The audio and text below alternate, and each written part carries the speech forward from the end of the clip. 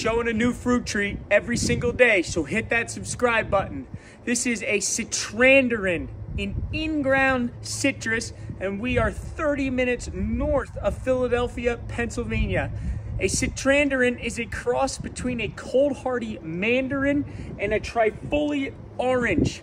This will produce good tasting sweet mandarins, unlike the unedible trifoliate orange you're used to in this area. We just took the frost blanket off and you can see it made it through another winter.